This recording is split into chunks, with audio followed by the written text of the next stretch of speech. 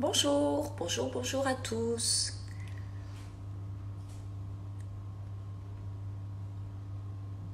Alors, je me suis connectée 2-3 minutes en avance comme d'habitude. On va attendre Shira. On était au téléphone il y a encore 3 minutes. On se mettait un peu au point sur les recettes.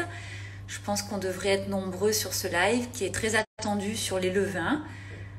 Voilà, donc euh, Shira va vous dévoiler euh, une partie, on va dire, de ses secrets pour réussir, en tout cas pour vous donner, vous aider à, avoir une première approche avec le levain.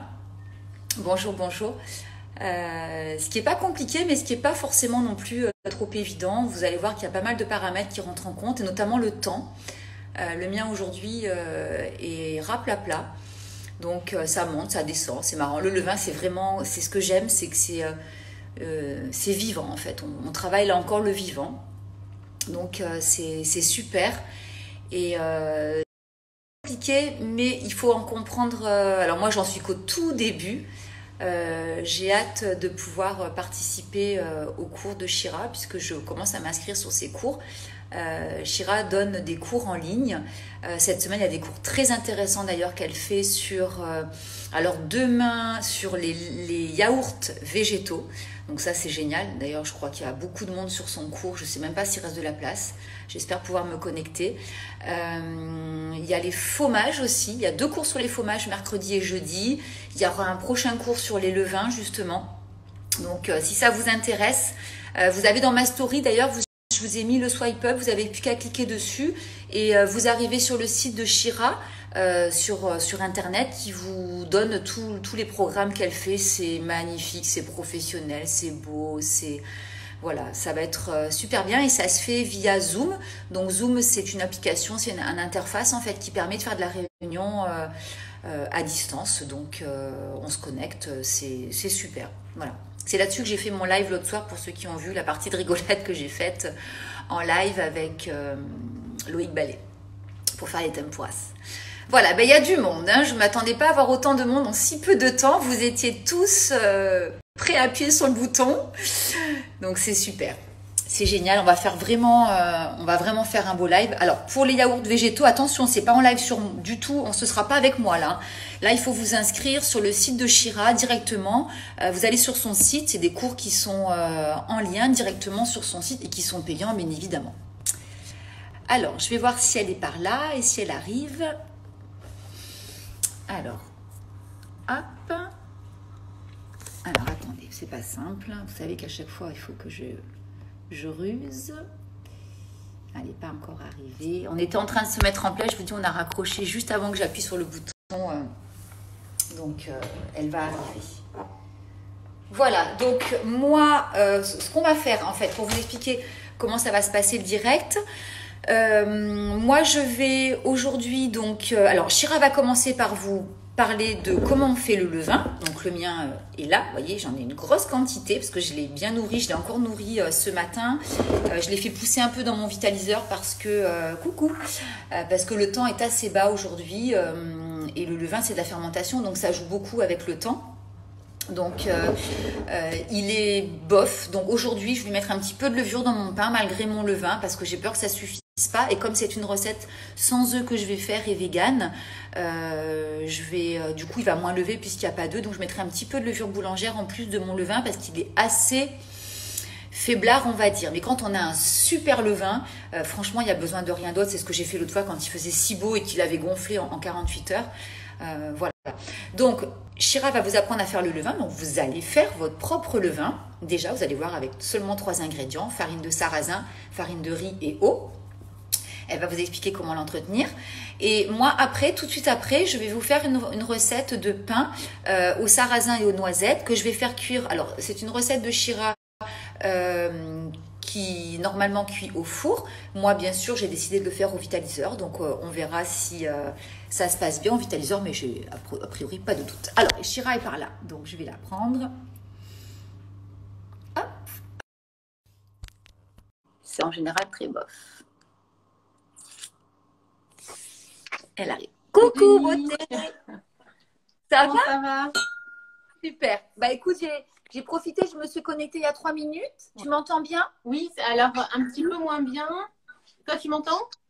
Moi, je t'entends bien. Ok, super. Ouais. Voilà, donc je leur ai expliqué. Il y a toujours le cadrage. Là, attends. Non, là, c'est pas mal. Hein. C'est bien? Oui, c'est bien. Bon, bah, je bouge plus. Donc, je leur ai expliqué qu'on allait déjà commencer par, je leur explique le levain, euh, comment ça se passe au levain, que moi je ferai après une recette euh, que tu m'as gentiment euh, prêtée pour aujourd'hui, que je vais faire au vitaliseur. Et je leur ai expliqué que euh, tu avais un site sur lequel donc tu mettais des cours en ligne. Exactement. Et euh, comme on a parlé beaucoup des yaourts et que les yaourts étaient très attendus, j'ai expliqué que demain il y avait un cours sur les yaourts, mais qu'il y avait aussi les fromages mercredi, jeudi, et qu'il y avait un cours sur les levains qui allait arriver. Donc euh, voilà, donc je, mettrai le lien dans mon post et dans ma story, comme ça les gens trouveront facilement pour aller sur ton ton site s'inscrire s'ils ont envie pour avoir euh, la recette d'aujourd'hui, par exemple, et puis d'autres recettes. Génial. Et puis apprendre tout ça. voilà. Il y a énormément de choses à faire avec le levain et aussi sans levain. Hein. Les pains sans gluten, c'est. Euh, oui, bien sûr. Oui. Une grande aventure.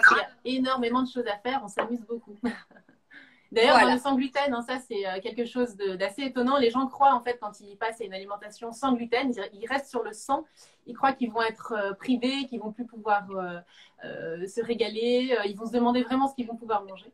Et en fait, ce qui est mm. incroyable, c'est que quand on quitte, bah, le, voilà, quand on quitte principalement le blé, en fait, on découvre des dizaines et des dizaines de farines, des dizaines ah et, tellement de saveurs et tellement de possibilités qu'en fait, ça permet de diversifier son alimentation euh, énormément et, au lieu de perdre, en fait, on gagne énormément. Et moi, j'encourage toujours, même les gens qui n'ont pas de problème avec le gluten, hein, on n'est pas toujours réservé euh, euh, aux, allergiques, c'est justement de, se lancer un petit peu dans cette aventure parce que ça nous permet vraiment de, euh, voilà, de découvrir énormément de saveurs. Ça, ça ouvre un champ des possibles énorme. c'est exactement la phrase que j'allais dire. Ouais, c'est exactement ça. Et moi, ce que j'aime toujours dans les recettes, et c'est ça qui me plaît particulièrement euh, dans le, dans le monde de la fermentation, c'est qu'on est dans un monde vivant et un monde euh, où, de toute façon, même si on suit à la lettre une recette, on n'aura jamais deux fois la même chose. Parce que c'est un processus vivant c'est euh, ce que je vais vous expliquer là en parlant du levain, une population microbienne qui, euh, qui évolue sans cesse en fonction de l'environnement, en fonction de, de l'air et, euh, et, en fonction aussi des ingrédients que vous allez lui donner, parce que les farines ne sont pas toutes identiques, c'est faux. Alors, dans la farine de blé, c'est vrai qu'on a énormément uniformisé les, les process de, de, les process de fabrication. On sait que telle farine, elle est faite avec tel blé qui a tant de taux de gluten. D'ailleurs, même les, les, cultures sont faites euh, en fonction de la farine, du, taux de gluten euh, qu'on veut avoir dans la farine euh, à la fin.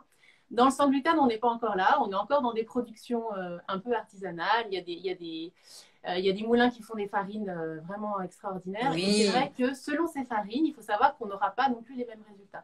Et, et Exactement.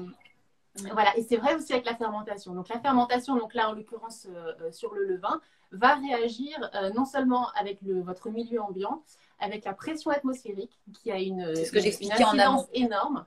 La température. Moi, je l'ai vu, entre, vu entre il y a trois jours et aujourd'hui. Exactement. Plus rien à voir. la température énormément aussi.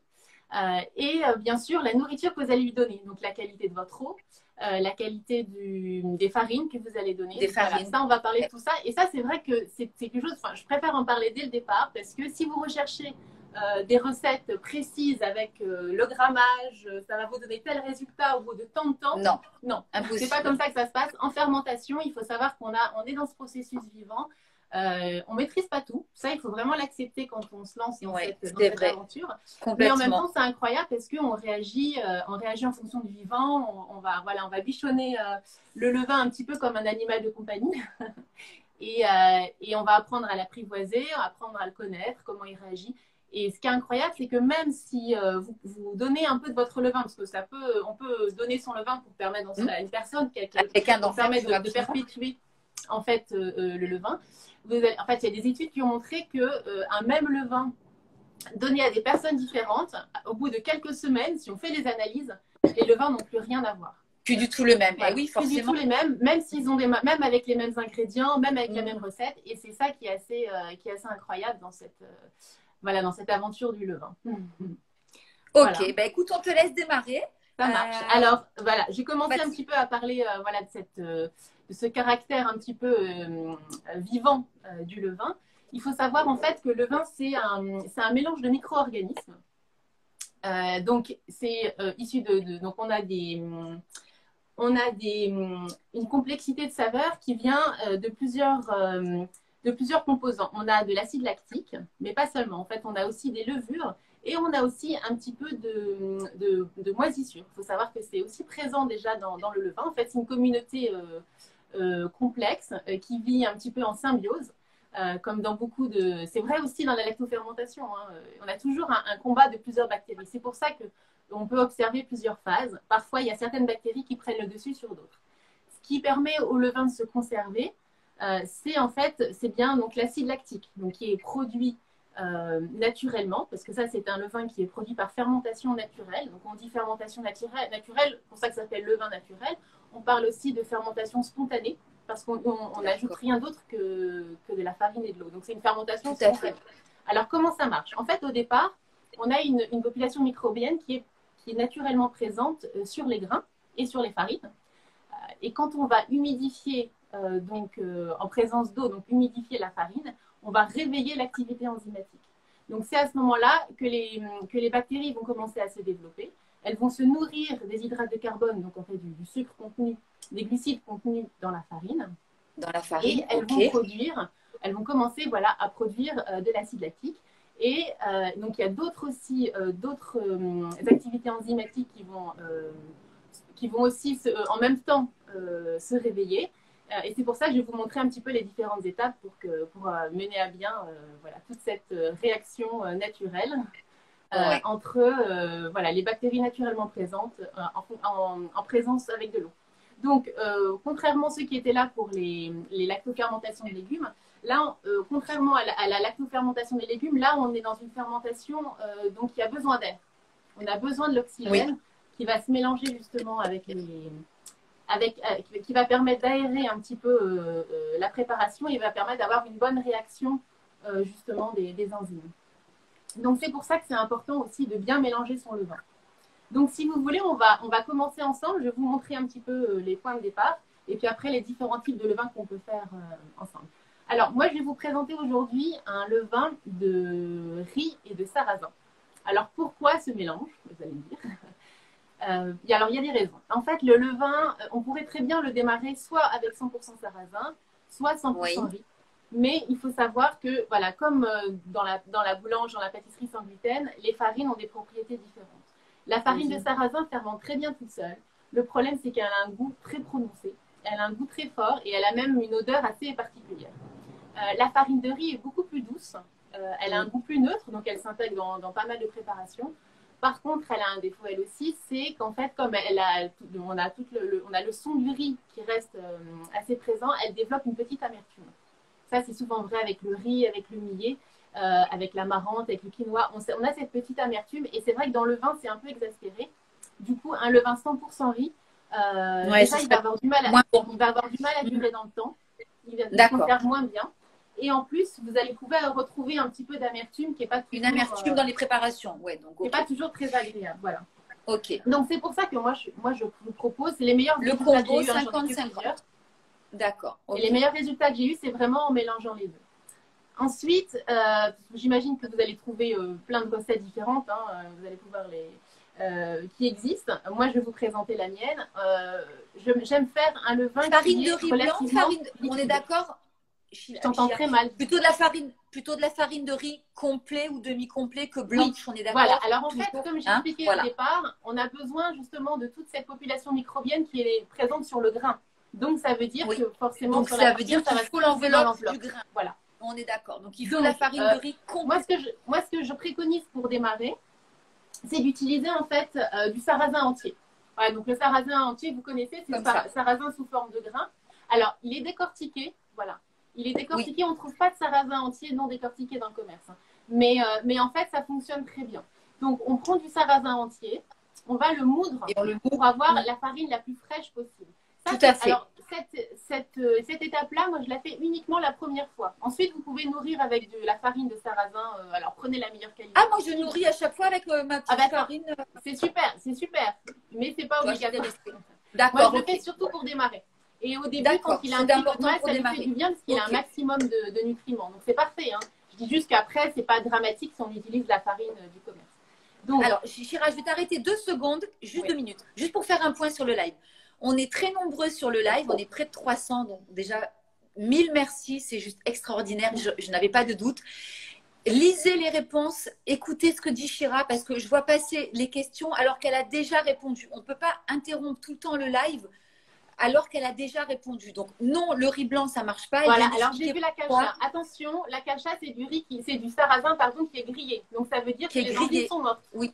il n'y a plus rien. Voilà. tout à fait. Donc non, du sarrasin entier, des farines les plus fraîches possibles, de meilleure qualité. Si vous avez euh, des farines qui sont moulues à la meule de pierre, c'est encore mieux. Ah ben c'est euh, mieux. Voilà. Après, si une fois vous mettez une farine un petit peu euh, de moins bonne qualité, c'est pas dramatique. Euh, il en oui, tout à fait. Pour, le nourrir plutôt, mais pour le démarrer, il vaut bien pour démarrer. Voilà. Pour démarrer, pour mettre toutes les chances de son côté, c'est important d'avoir de, d'avoir de bonnes farines. Voilà, c'est important. Ça ne veut pas dire que ça marchera pas, mais bon.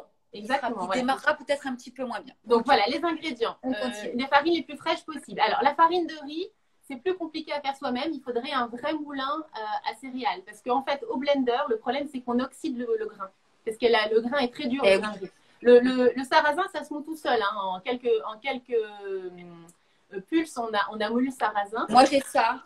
J'avais acheté il y a des années. Dans un, grand café. dans un grand blender, il faut mettre une certaine quantité. Moi, je l'ai fait avec le petit personnel blender voilà. de lame, ça fonctionne très bien. Ben, voilà, ben, moi, c'est un moulin à café qui coûte rien du tout. Ça, c'est génial.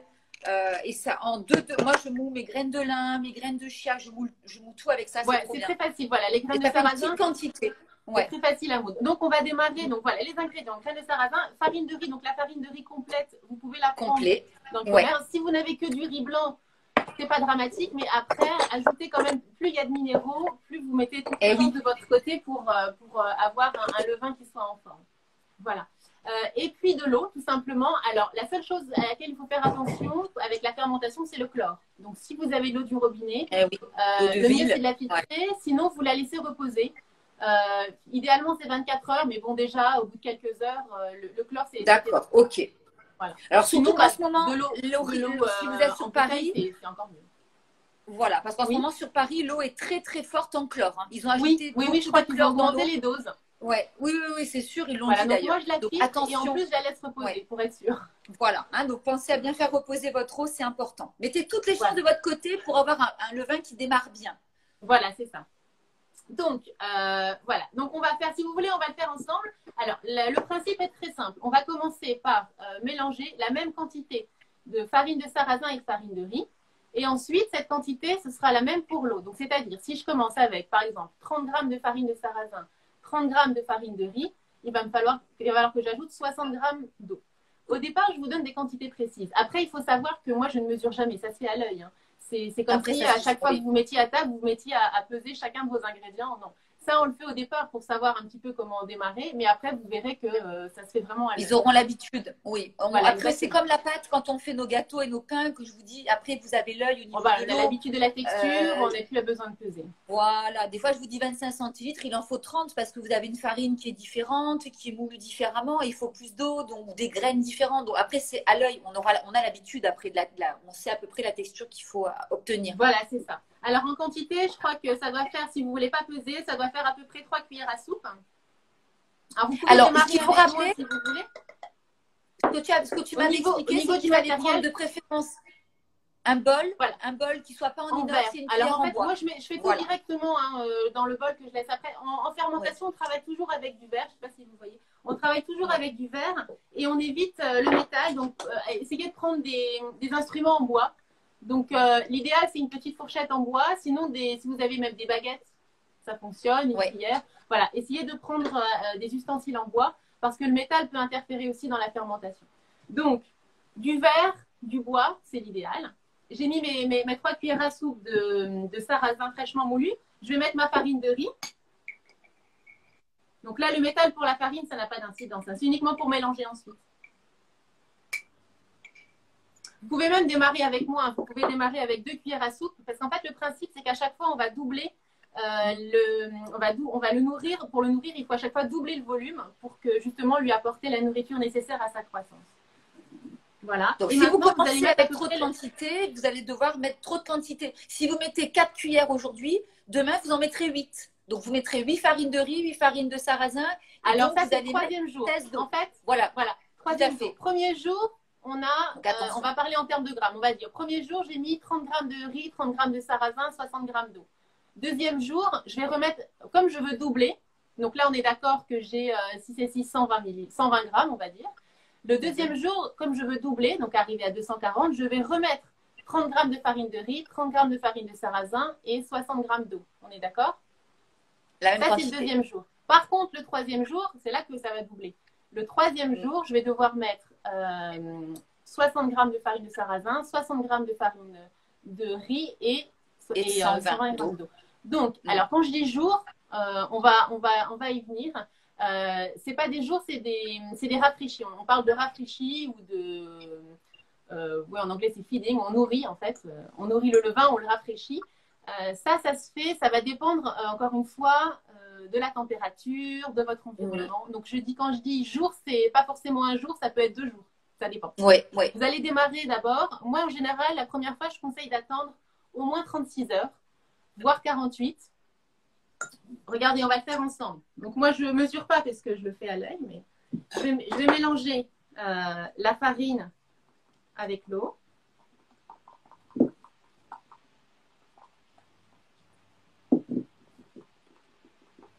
Et ce qu'il faut, c'est bien, bien aérer.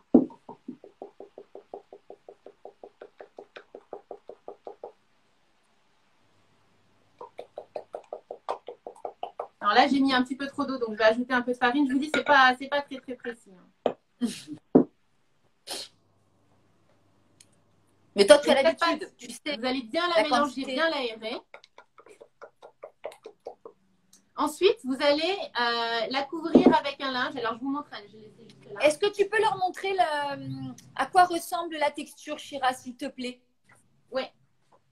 Pour qu'ils voient. Voilà. Est-ce que tu peux approcher le bol pour qu'ils voient à peu près la, le plus Alors, près possible pour à peu près à quoi ça Et après, il faut que ça attache à la cuillère.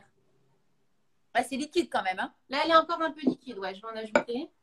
je n'ai pas sorti la balance, donc euh, je vais ajouter un petit peu de chaque. Voilà. De toute façon, moi, je, je, m'en sers après pour nourrir mon levain. Donc, euh, même si j'en ai plus, c'est pas un problème. Ça fait un peu comme une pâte à pancake, un peu épaisse. Ouais, c'est ça. Ça va faire une. En fait, c'est une pâte rubanée, ce qu'on appelle une pâte rubanée. D'accord. Quand on la, quand on la tire, elle doit former un ruban. N'hésitez pas à bien battre comme ça pendant au moins une minute. À chaque, à chaque fois que vous le nourrissez, il faut bien le battre. C'est important que euh, d'intégrer en fait de l'air dans la, dans la préparation. Voilà, là c'est pas mal. Vous voyez? Ça peut être un peu plus épais. C'est pas pas, pas tellement important la quantité d'eau au départ. Je préfère commencer un tout petit peu plus liquide la première fois et ensuite éventuellement mettre un peu moins d'eau. Mais la première fois, euh, c'est bien que, que, le, que le levain soit un peu liquide parce que ça va l'aider à bien démarrer, ça va aider justement l'eau à bien pénétrer la farine. Il faut savoir que là, la farine va boire. Hein. La farine de sarrasin, elle, elle, elle, boit pas mal. Donc, euh, la texture que vous, vous avez là, d'ici une demi-heure, elle aura déjà épaissi. Donc, tout à fait. Là, vous avez mélangé votre, euh, votre farine. Ensuite, euh, vous allez le placer dans un endroit à l'abri des courants d'air. Moi, ce que je fais en général, c'est que je le mets dans mon four fermé ou dans un placard. Vous allez la couvrir avec un, avec un petit linge, euh, tout simplement parce que tout ce qui est fermenté attire énormément les, les, les bestioles. les petites bestioles. Voilà. Et puis aussi, ça le protège de la poussière, des courants d'air. Donc, voilà, vous lui mettez un petit linge et puis là, vous allez laisser alors, normalement, les températures idéales, c'est autour de 25 degrés. Vraiment pour que. Ça va arriver là, le beau temps arrive. Voilà, pour que l'activité soit au maximum. Maintenant, personne n'a 25 degrés toute l'année. Donc, euh, bah, chez moi, c'est plutôt en général plutôt 20 que 25. C'est pas grave, ça met juste un peu plus de temps. Euh, d'ailleurs, moi, je n'aime pas trop booster comme ça les fermentations en mettant dans des endroits trop chauds parce que ça peut tuer les bactéries. Je préfère une fermentation lente. Euh, le travail se fait doucement, à son rythme, et, aussi il faut aussi que le levain s'habitue à son environnement. Donc, ça fait partie, voilà, ça fait partie du travail. Donc, ça, c'est le levain en fermentation spontanée, uniquement de la farine et de l'eau. Donc, je vous ai dit, ça, c'est la première étape, c'est jour J, jour 1. Ensuite, on va dire plutôt entre 36 et 48 heures après, vous allez commencer à voir des petites bulles apparaître. Là, vous allez le nourrir à nouveau, donc comme on a dit, de la même quantité que la première fois. D'accord? Donc, on remet 60, 60, vous remettez 30, 30, 60. Et là, vous allez laisser encore 24 heures. Normalement, au bout de ces deux jours, vous devez commencer à avoir une texture euh, qui ressemble un petit, qui ressemble à une mousse. Ça va commencer à mousser, Mm. d'accord? Mm. Bon, ça c'est mon levain, euh, c'est mon levain final. Alors j'ai laissé le marque parce que vous voyez, il vient de monter. Je l'ai nourri ce matin, il était monté euh, jusqu'en haut et après il redescend. Ça c'est normal, ça veut dire qu'en fait C'est ce que loin. vous devez avoir à chaque fois, avant de faire un pain, vous devez euh, laisser monter votre levain. Donc vous le nourrissez, il va monter, il va arriver à son point culminant et après il va redescendre. C'est normal, ça veut dire qu'il est prêt justement à, à pouvoir euh, fermenter une nouvelle farine. D'accord? Il, faut, il faut attendre qu'il ait bien levé précédemment parce que sinon, euh, il ne va, il va pas être assez actif. En fait, il a besoin vraiment de prendre toutes ses forces. Et une fois qu'il est arrivé là, il est à nouveau prêt à fermenter une nouvelle farine. Alors si oui, vous mettez dans votre bocal aujourd'hui. Vous travaillez votre levain, vous le préparez dans votre bocal aujourd'hui. Et il y a des gens qui demandent s'ils peuvent mettre un couvercle en fer à la place d'un linge. Non, non. Non, hein. on a, comme j'expliquais au Non. départ, on a besoin d'air.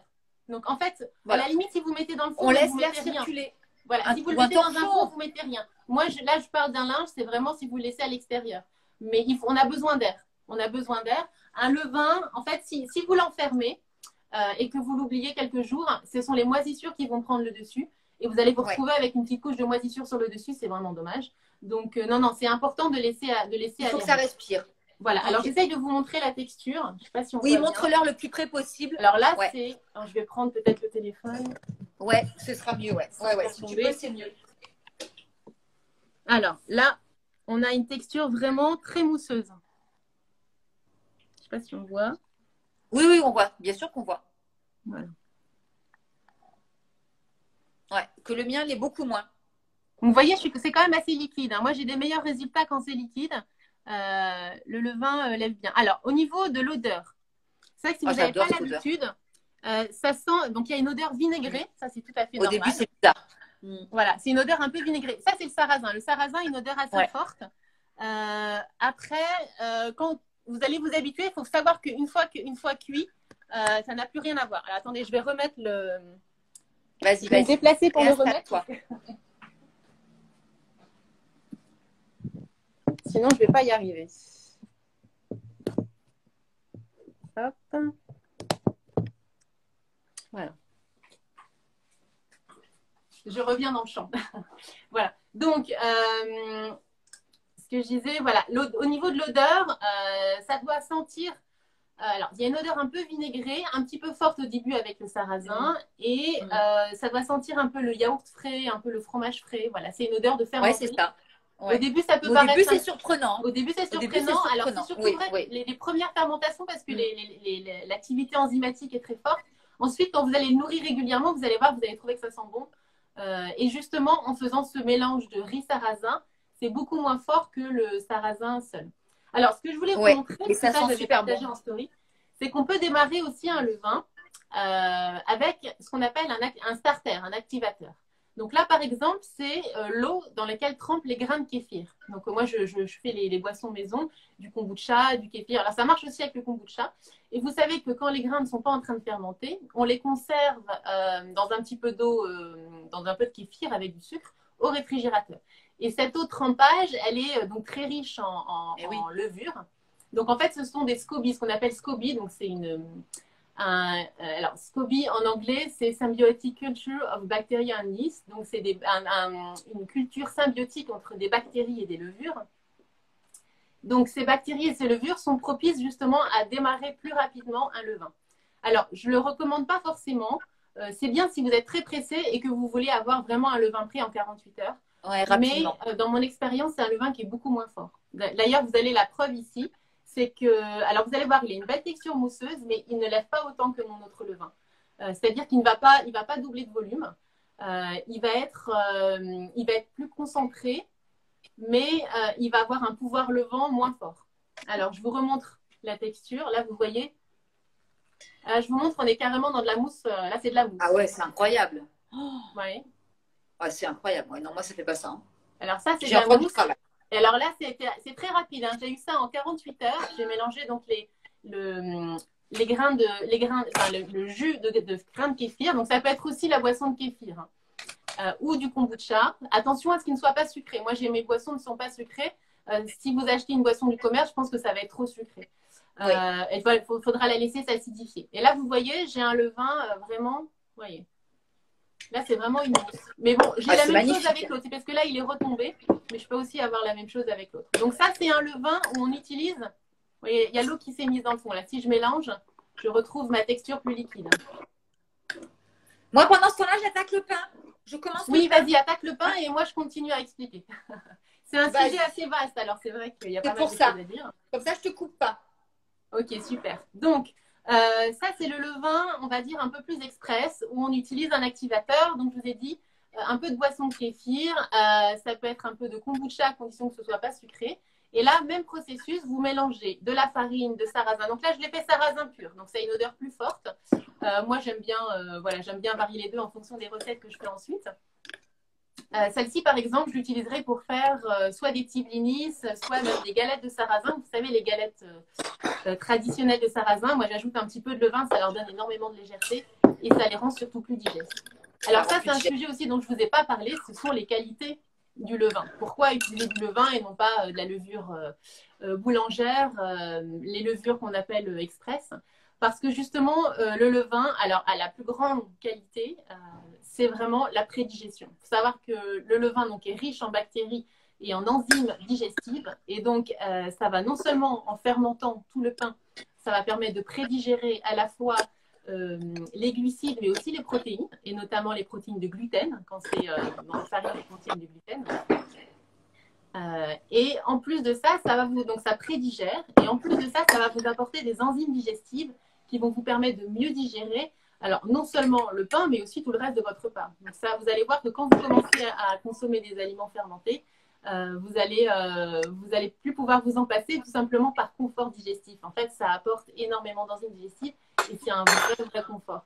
Alors, non sellement vous digérez mieux, mais surtout vous assimilez mieux. Donc, ça veut dire que vous allez pouvoir euh, assimiler beaucoup plus facilement ben voilà, toutes les bonnes, tous les bons ingrédients que vous aurez mis dans, dans votre pain. Voilà, ça ce sont les qualités du levain en termes de santé. Ensuite, euh, en termes de conservation, il faut savoir que les pains au levain se conservent beaucoup plus longtemps, justement grâce à, cet acide lactique qui prévient l'apparition des moisissures. Donc, par contre, un pain au levain, si vous le conservez à température ambiante, ne l'enfermez pas dans un plastique.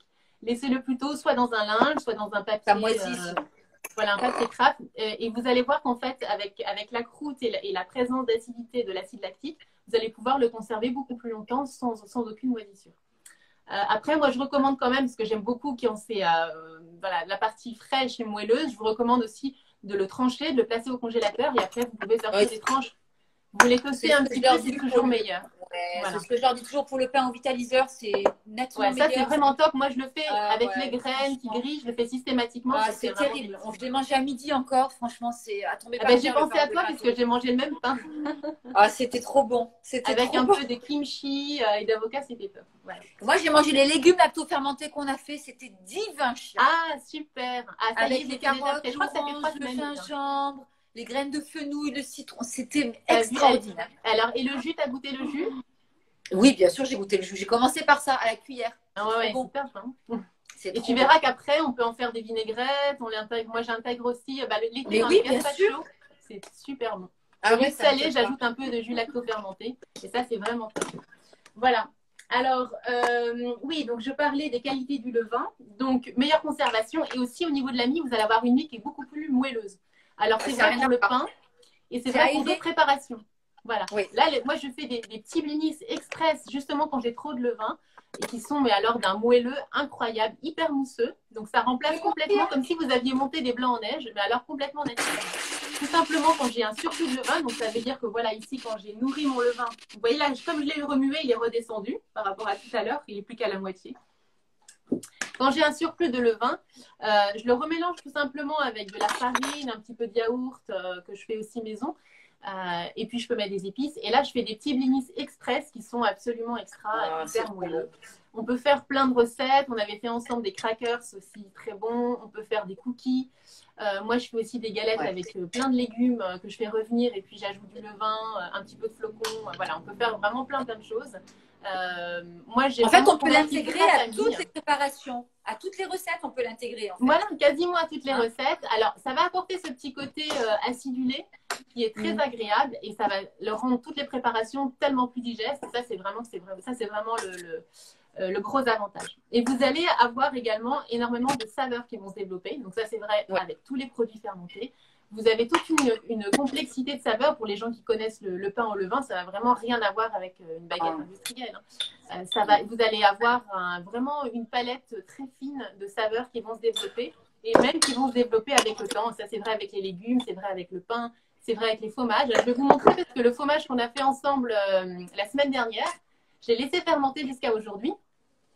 Donc, j'ai un petit crottin bien fermenté, je vais pouvoir vous montrer ce que ça donne, euh, voilà, même une semaine après.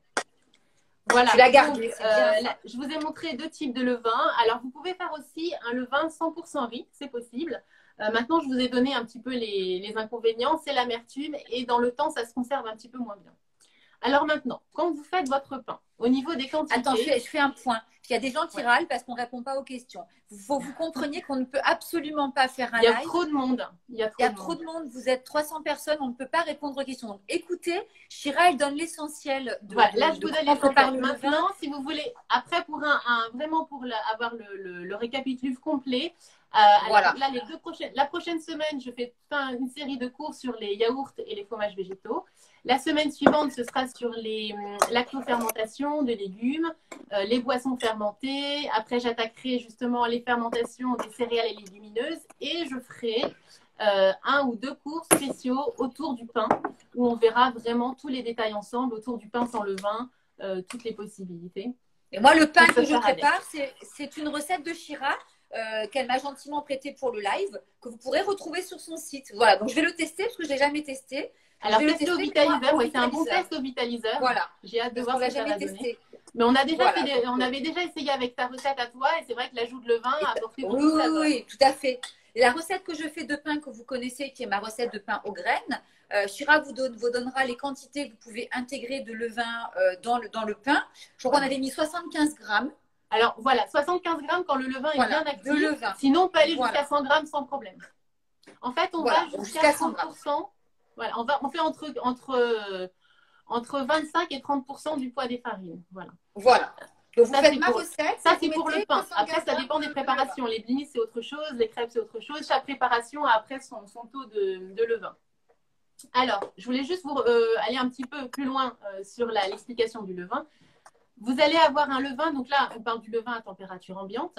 Vous allez utiliser donc le levain dont vous avez besoin. Bien sûr, vous en gardez toujours un petit peu. Ne mettez pas tout le levain euh, dans votre pain. Vous en gardez toujours. Alors, il ne suffit pas beaucoup, hein. il suffit de garder 2-3 cuillères à soupe. Une fois que vous avez gardé euh, ce levain, vous le conservez au réfrigérateur. Sauf si vous faites du pain pour tous les deux jours. Mais disons que si vous faites un pain une fois par semaine, vous pouvez le garder au réfrigérateur. À ce moment-là, vous lui mettez euh, un petit couvercle là, c'est OK pour le couvercle en métal à condition qu'il ne soit pas rouillé. Vous, donc, vous conservez au réfrigérateur votre bocal et euh, la veille, vous voulez refaire un pain, la veille ou même l'avant-veille, ça va dépendre un petit peu du temps. S'il fait froid, je conseille même l'avant-veille.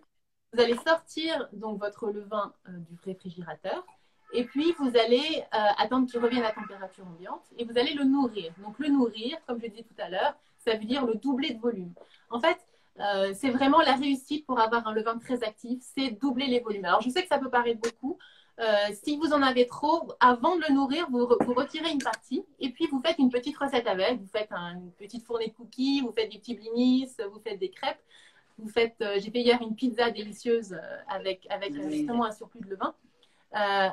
c'est dommage de jeter. Moi, j'ai jamais jeté le levain. Il y a des gens qui jettent. Bon, c'est pas, pas obligatoire. Mais en fait, n'essayez pas de, ne vous retrouvez pas avec des quantités énormes, c'est dommage. Retirez un petit peu avant de le nourrir. Euh, normalement, on nourrit x2. Si vraiment vous voyez que le, levain a du mal à démarrer, euh, qui ne veut pas gonfler, à ce moment-là, vous lui faites x3. Alors, je sais, ça peut paraître beaucoup, mais c'est vraiment la clé de la réussite.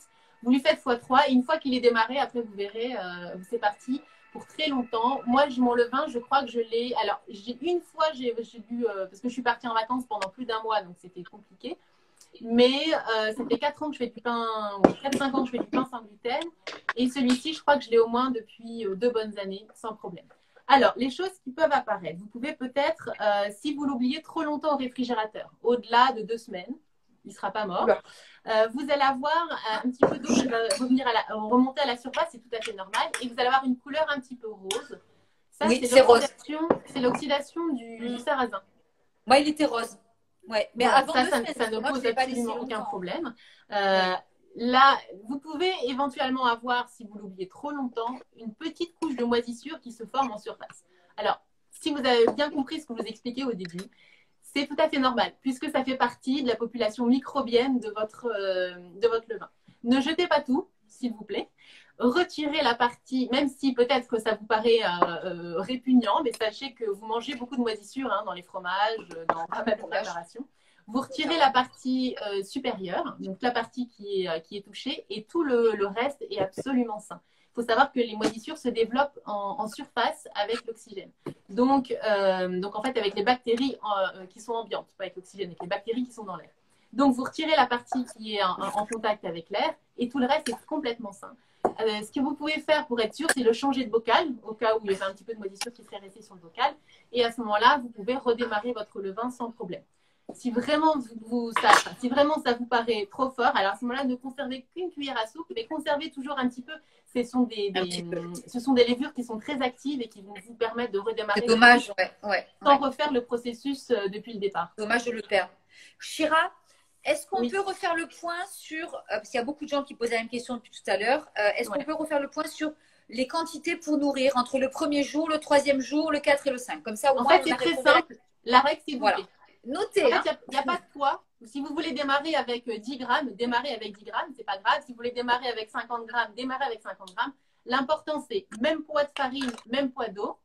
Et à chaque fois, je double le volume total. Donc, euh, vous pouvez le faire à l'œil. Parce que je sais qu'une fois que vous avez mis dans le pot, vous ne savez pas combien de grammes vous avez, à moins de connaître Ben oui. le poids de votre bocal. Mais vous le faites à l'œil. Si vous voulez, vous faites un petit trait. Vous faites un petit trait et puis euh, à l'œil, vous ajoutez euh, un peu de farine de sarrasin, un peu de farine, comme je viens de le faire. Et puis si vous mettez un petit peu trop d'eau, c'est pas grave, vous mettez un peu de farine. C'est pas Exactement. L'important, c'est de le nourrir. C'est comme vous, quand vous mettez à table, vous n'allez pas calculer, attention, j'ai mangé 5 grammes de, de, de- de pain en- et, pas, et 5 grammes de moins de ça. Non, c'est voilà, vous le nourrissez. Euh, ça, c'est la règle. Euh, vous le doublez. Si vraiment il a du mal à démarrer, vous le triplez. Mais bon, c'est rare. hein. Moi, en général, en doublant, j'ai des très bons résultats. Et puis, euh, et puis ensuite, voilà, une fois que vous avez prélevé la, la quantité nécessaire, vous le conservez au réfrigérateur. Si vous ne faites pas de pain pendant longtemps, ce qui peut arriver, à ce moment-là, euh,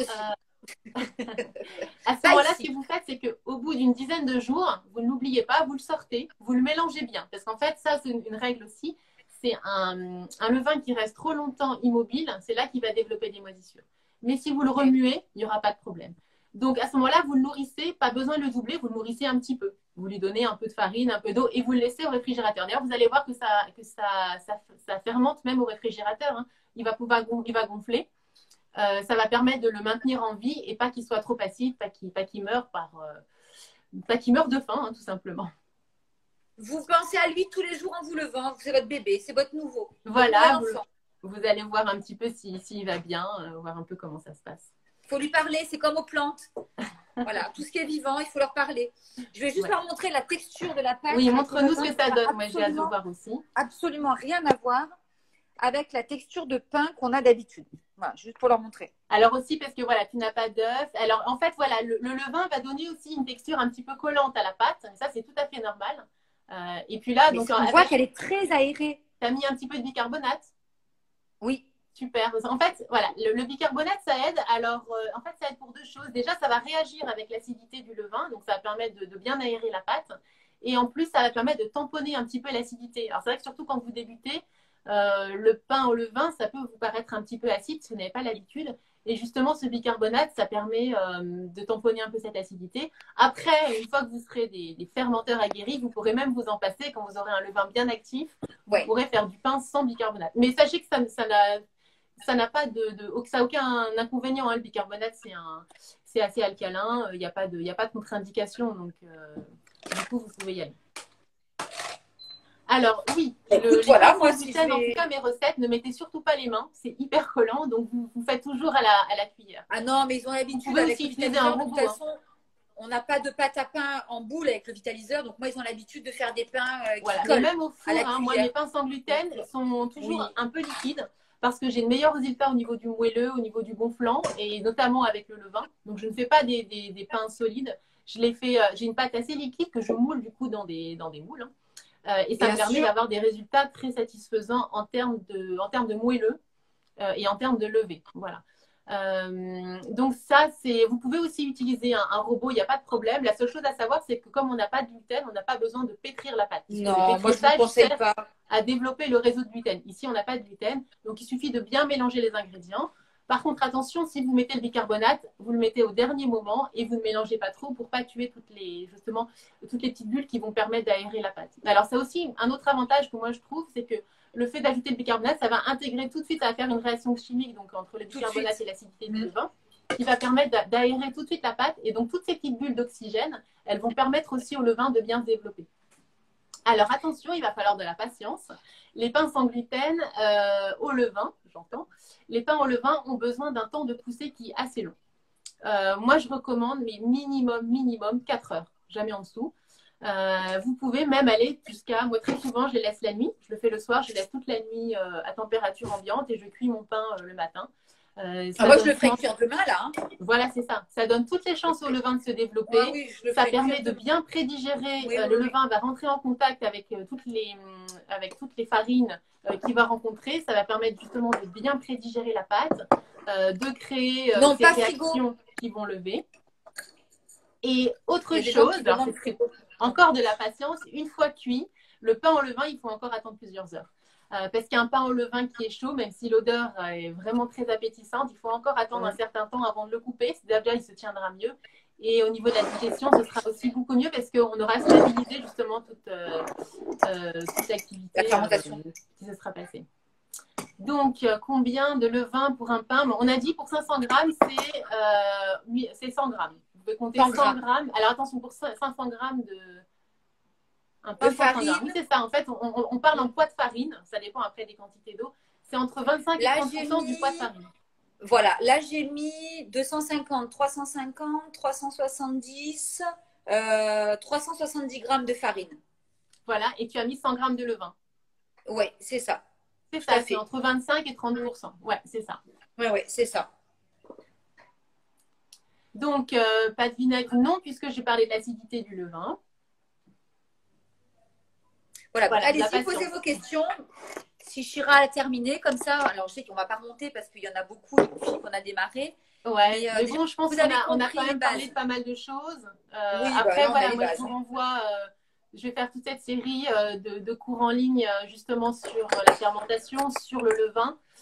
On parlera aussi, il y a d'autres fermentations possibles hein, qu'un levain. En fait, il y, a des, fermentations spontanées qu'on peut faire à partir de, de grains entiers à partir de quinoa, à partir de millet, de sarrasin, même de légumineuses, en fait, euh, un petit peu sur le même principe de levain, mais là, c'est des fermentations euh, assez express, parce qu'en une nuit, on peut faire lever euh, des pâtes et en faire toutes sortes de préparations. les dosas sont très connus, c'est des petites crêpes indiennes, que moi, je décline avec plein de choses, avec des épices, avec des légumes. Je fais aussi des falafels, alors très particuliers, parce que c'est des falafels qui sont fermentés j'ajoute euh, des légumes à l'intérieur et je les cuis au vitaliseur. ça n'a plus rien à voir avec la recette originale, mais euh, c'est absolument délicieux.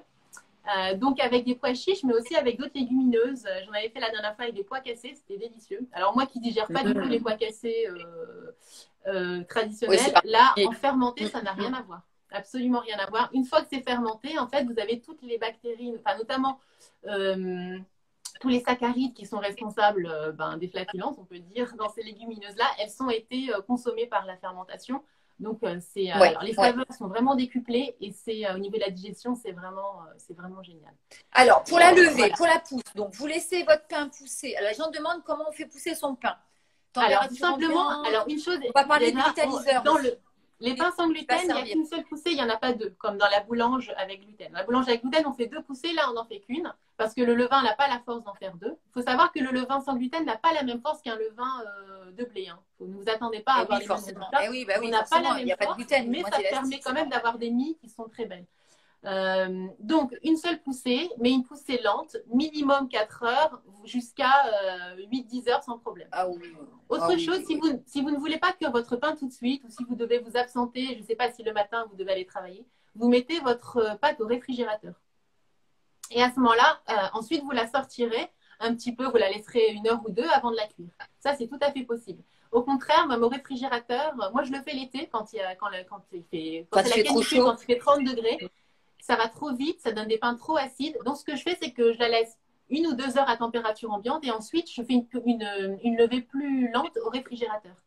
sachant que le froid ralentit, mais ne bloque pas hein, la fermentation. Ça ralentit simplement.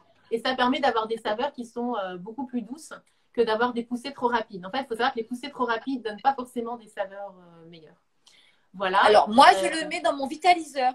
Voilà, alors inversement, s'il fait trop frais et que vous voulez voilà, avoir une bonne, une bonne température, alors attention, pas le vitaliseur 40 qui a bouilli, hein. non.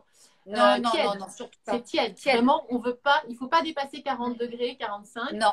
Après, vous Donc 40 degrés, c'est une douche bien chaude ou un bain un peu trop chaud. C'est ça. Euh, quand vous mettez le pied dedans, donc euh, voilà, vous mettez votre doigt. Vous ne devez pas vous brûler le doigt. Hein. Vous, non, faites chauffer un petit peu. Vous pouvez le faire aussi. Et si c'est trop chaud, vous mettez de l'eau froide.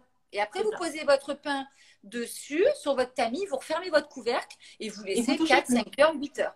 Voilà, moi c'est comme ça, euh, ça, et ça va conserver justement une température humide qui est propice, euh, Tout à fait. Euh, qui est favorable au pain.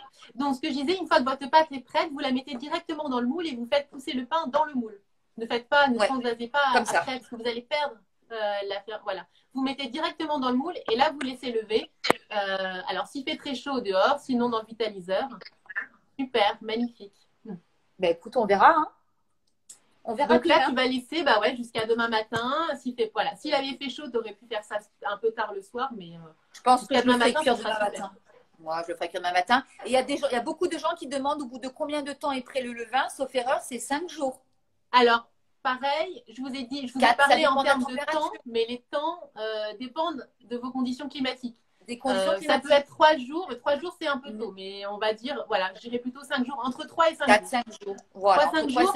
Euh, peut-être 6 euh, si c'est l'hiver et que ça démarre pas, c'est possible. Je ne vais pas vous promettre que vous aurez un, quelque chose de super. Euh, alors, vous allez avoir une belle activité au bout de, déjà au bout du deuxième jour, mais ça suffit pas. Il va falloir quand même attendre trois jours qu'il se soit bien, qu'il ait pris de la force en fait. Et pensez à l'aérer. Voilà. Bah, n'hésitez pas à bien le battre quand vous le nourrissez, parce qu'on a besoin, euh, on a besoin voilà, des, bactéries qui sont dans l'air pour nourrir toutes les, toutes les levures qui sont. Euh, Alors, je redonne les quantités pour démarrer. Donc, en gros, 30 g de farine de sarrasin, 30 g de farine de riz complet. C'est très important parce que il faut que vous ayez l'enveloppe du grain absolument pour démarrer votre levain. Donc, c'est mieux du riz complet et 60 g d'eau. Donc, ça, c'est le premier jour. Ça. Le troisième jour, vous lui donnez la même chose. Voilà. Le deuxième jour, vous faites rien. Vous le laissez, vous l'aérez un peu. Le troisième jour, vous lui redonnez 30 grammes, plus 30 grammes, plus 60. C'est ça. Le quatrième jour, vous lui donnez le double de ce que vous lui avez donné, c'est-à-dire 60 grammes, 60 grammes et 120. Voilà. Et le lendemain, pareil, si on veut, et c'est prêt. Le cinquième jour, il Donc, est prêt. Donc, si vous avez, voilà, vous allez vous retrouver avec un peu plus de levain dont vous avez besoin. Vous allez toujours en conserver minimum 50 euh, grammes.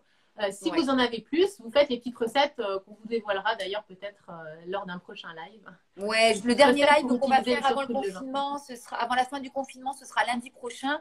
Je pense qu'on fera peut-être avec vous les petits blinis ou les crackers en live. C'est sympa comme ça. Si vous avez démarré le vin et que vous en avez trop, ça. on vous donnera des petites astuces pour pour l'utiliser. Voilà, exactement. Moi là, je vais faire, je pense, je vais faire des blinis et des crackers. C'était trop bon. Ok, super. Ou une pizza, je sais pas. J'ai envie de tout faire. De toute façon, c'est affreux. Une fois que vous avez démarré, on est parti, c'est hyper addictif. Moi, je me lève le matin, je me dis qu'est-ce que je vais faire avec mon levain? C'est hallucinant.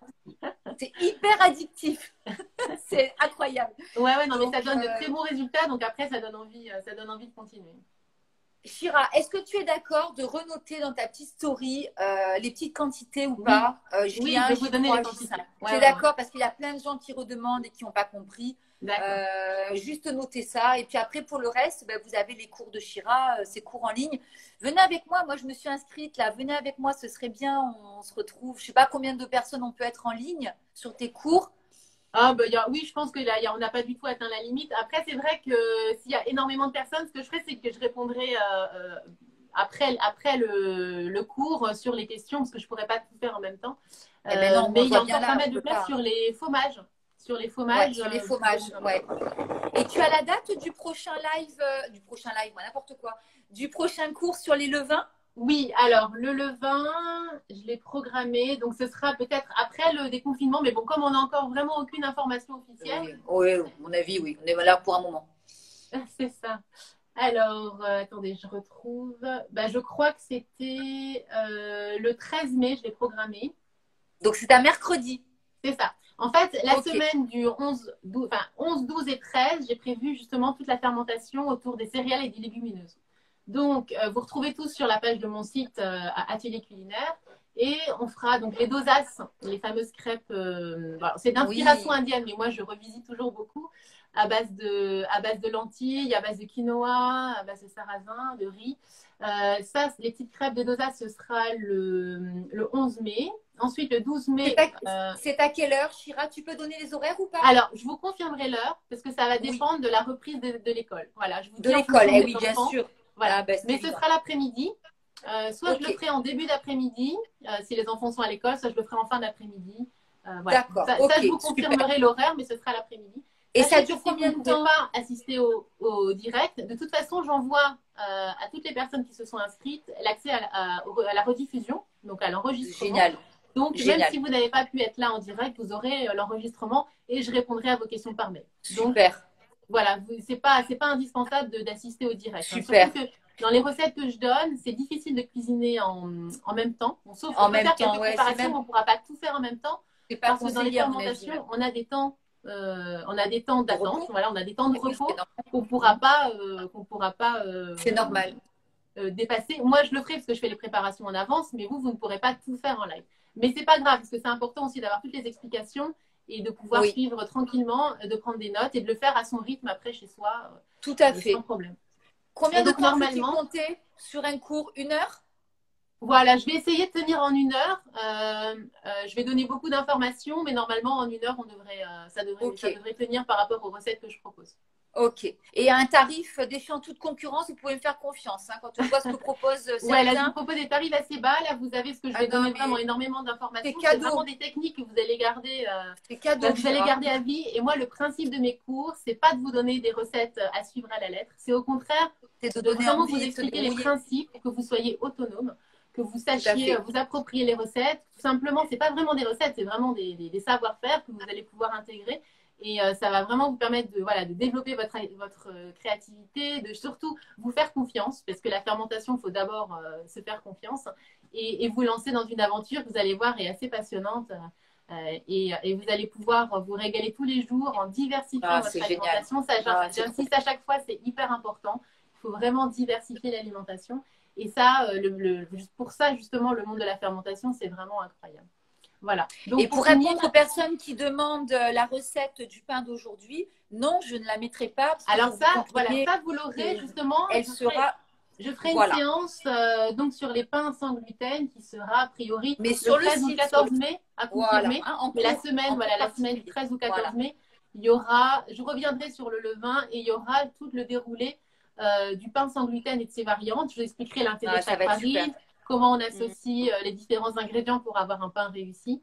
Euh, et puis, je montrerai aussi une autre recette un peu plus express de pain avec des légumes, des T-buns à base de, à base de légumes, de graines. voilà. La, la, série des pains sans gluten, je le ferai en plusieurs cours parce qu'il y a vraiment pas mal de choses. Et, il y a beaucoup de choses à dire et une heure, ça passe vite. Mais, mais non, je, pour rebondir sur ceux qui disent elle a dit non, non, ben non, parce que il faut que vous compreniez bien que tout ça, c'est beaucoup de travail pour Shira et qu'elle déjà, elle nous offre. Alors voilà, euh, moi mes ateliers, il faut savoir que là, je pars, des, je pars des cours en ligne. En fait, tout simplement parce que oui, comme bien vous, sûr. je suis confinée à la maison avec mes enfants. Ben oui. je peux pas les mettre dehors pendant trois heures. Donc, euh, ben les cours en ligne sont limités à une heure, une heure et demie. Par contre, les ateliers qui vont reprendre bientôt, j'espère, dans mon, voilà, dans mon atelier à Paris, là, ce sont des cours de trois heures. Donc là, on prend le temps on va à fond sur le sujet, on expérimente, vous, voyez toutes les techniques. Mais c'est réservé aux Parisiens. Des temps qui sont beaucoup dommage. Alors, je vais faire aussi quelques ateliers euh, à la maison, tu vas venir à maison des jus, voilà, avec, avec Alexandra. Et ça, ce sera normalement, on a prévu ça fin juin. Euh, j'espère qu'on pourra euh, peut-être même en faire encore cet été. si vous êtes dans la région, donc c'est à côté d'Aix-en-Provence. Voilà. voilà, considérez que c'est Aix-en-Provence. Et euh, je crois que c'est le 29 ou le 30 juin, je ne sais plus ce qui est prévu, il me semble. Voilà, à confirmer encore une fois, mais voilà. ça, ce sera, euh, ce sera aura plus d'informations. C'est un petit peu difficile de s'engager en ce moment, tout le monde le comprend. Bon, en tout cas, tous ceux qui sont sur Paris, voilà, Chira, elle, fait, elle donne des cours sur Paris aussi. Elle fait, elle fait ses ateliers sur Paris, comme moi, je fais mes ateliers à Aix-en-Provence avec, avec le vitaliseur. Et oui, ça a coupé. Je savais qu'on ne tiendrait pas en une heure. bon, ça va, vous avez l'habitude. On est trop bavarde. ouais, c'est vrai que j'ai du mal à. On est sur la fin. On est sur la fin. Euh, bon, enfin voilà, donc vous pouvez voilà, rejoindre Shira sur Paris directement pour ceux qui sont sur Paris, pour ceux qui veulent assister à ces ateliers. Vous pouvez la rejoindre par ses cours en ligne, moi auquel je vais me connecter euh, demain, mercredi et jeudi. Je profite du confinement. Voilà, donc ce sera la, semaine euh, yaourt et fromage végétal. Voilà, yaourt et J'ai hâte demain sur les yaourts végétaux, je t'avoue. Je suis trop hâte. euh, voilà, des stages à Cuturon, ben écoute, oui, c'est prévu aussi le jour où je pourrai. Mais oui, je vais faire aussi des ateliers euh, bientôt, j'espère, le week-end chez moi. Et, euh, et, voilà, en tout cas, ben, on espère que ça vous aura aidé à démarrer. Euh, le bocal du jour, ça c'est le mien. Qu'on demande le bocal du jour, donc ça c'est le mien. voilà, l'idée c'était que Shira vous donne les premières les premières armes pour démarrer simplement un levain. Et après, c'est quelque chose, vous allez vous y habituer, vous allez euh, vous habituer au, hum, à la consistance, à les, à, les ajouter dans toutes vos recettes. Après, on a des automatismes. Ah, c'est comme avec les pains quand on fait ses Voilà, vous allez vraiment l'apprivoiser. En fait, c'est ça, c'est vraiment apprivoiser le levain. Moi, je vous remontre les ici. Voilà, remontre le tien, qui est beau comme tout. Hop. Tourne un peu temps, en face. Voilà, super. Voilà. Ouais, bon, lui, il va carrément euh, bientôt déborder. Donc voilà, donc pensez Ils sont, ils sont retombés, c'est normal, hein, parce que je les ai manipulés, ils sont Bien sûr, le mien aussi, il est retombé tout à l'heure, il était plus Non, c'est normal. Pensez à le couvrir, mais à le laisser respirer. Mettez-lui euh, une gaze, un petit torchon, quelque chose, voilà. Même un petit torchon, hein. voilà, le protéger des, des, petites bestioles, des petites mouches, euh, tout ça. Mais euh, laissez-le respirer. N'oubliez pas de l'aérer en le retournant. Euh, donnez-lui à manger, parlez-lui, dites-lui qu'il est beau, que vous l'aimez. Vous allez voir, il va vous faire plein de beaux cadeaux. Voilà, super. Eh ben, écoute, euh, merci Jenny. J'ai été ravie euh, de partager cela avec toi. Ben oui, on se retrouve lundi prochain. Et puis, bah, rendez-vous à tous ceux qui se, voilà. sont inscrits demain. Donc, euh, pour les yaourts, on fera un yaourt de coco, un yaourt d'amande. Vous allez voir, c'est vraiment très simple avec un résultat hyper velouté. Et puis, je vous expliquerai voilà, toutes, les, toutes les possibilités, les différents degrés de fermentation, les starters. Enfin, on verra ça ensemble demain. Voilà. Et pour tous ceux qui veulent donc se refaire les pains, les pains sans gluten, tout ça, ce sera donc le 11 en cours avec toi sur euh, avec l'horaire à définir en fonction de la reprise. Dans le 13. Voilà, ce sera ce sera mis à jour sur le site. Mais voilà, allez sur le site de Chira quand on raccroche, regardez le lien et vous aurez toutes les explications. C'est très bien fait, c'est très joli, c'est très bien présenté. C'est. Bah merci. Bon. Voilà. On vous embrasse tous. Et j'ai hâte de voir ton pain. Ben, moi aussi, je le ferai cuire demain, donc à l'aube. Vous savez, je me lève tôt, donc euh, voilà, il sera en photo euh, rapidement, mais enfin, je sais qu'il sera beau. L'autre, il n'y en a plus déjà. Hein. on l'a dévoré, c'est exceptionnel, c'est ah, bah, addictif. Ah, franchement, c'est addictif. donc moi, je vais faire maintenant mes petits, mes petits blinis pour ce soir. Voilà, donc vous, vous nourrissez pas pour ceux qui demandent, vous nourrissez pas votre levain demain, vous vous attendez plutôt après-demain, parce que le temps n'est pas terrible en plus. Donc attendez plutôt euh, deux jours avant aussi, de donner à manger. Donc, ouais, et euh, demain, ça plutôt 48 temps en plus. Donc là, vous risquez d'avoir peu de peu de vie dans le pot, dans le bocal avant bien deux trois jours parce qu'ils annoncent de la pluie demain. Hein. Ouais, mais c'est pas grave. Deux jours, deux jours déjà, vous pouvez le nourrir. Vous attendez deux jours et vous le nourrissez. Voilà. Deux jours, c'est Ok. Voilà. Et vous stressez pas, vous inquiétez pas. Moi aussi au début, j'étais hyper stressée. J'appelais Chira toutes les trois minutes.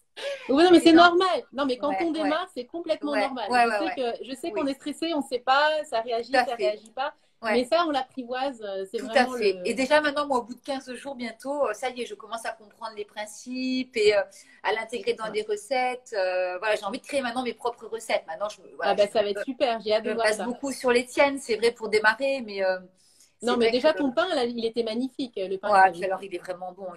Déjà, le pain au vitaliseur, c'est magique. Mais le combo levain, vapeur douce. Plus vapeur, ouais. Oh, c'est extraordinaire. Vraiment, ben, vous allez le voir euh, de vous-même. Voilà, donc de gros bisous. Le live n'est pas enregistré, bien évidemment, puisque comme d'habitude, quand on partage le live, il n'est pas enregistré. Il est dans ma story. Donc, vous l'avez pendant 24 heures, comme d'habitude.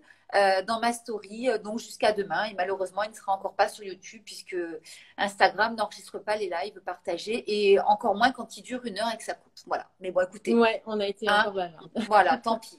tant pis, on était déjà très nombreux, donc je pense que déjà tu as dû répondre à beaucoup de, beaucoup de questions euh, et tu auras rendu service à beaucoup de personnes. Donc c'est super. Moi, je me suis régalée en tout cas. J'attendais Merci beaucoup, merci à tous et je vous dis à bientôt alors pour des. Ouais, ça va. Et, moi, ensemble en live lundi prochain. Voilà, nous on se retrouve lundi prochain et moi je vous retrouve demain euh, matin à 10h30 avec Charlotte sur un sujet passionnant, le désordre digestif. voilà, il y a de quoi dire sur les candidoses, le SIBO et tout ça. Donc, si ça vous intéresse, demain, euh, un live très intéressant encore avec Charlotte et le C. Charlie. Des gros bisous à tous. Merci. Merci. Bye. Merci à toi. Des gros bisous. Ciao, ciao, bisous à tous. Bonne fin de journée.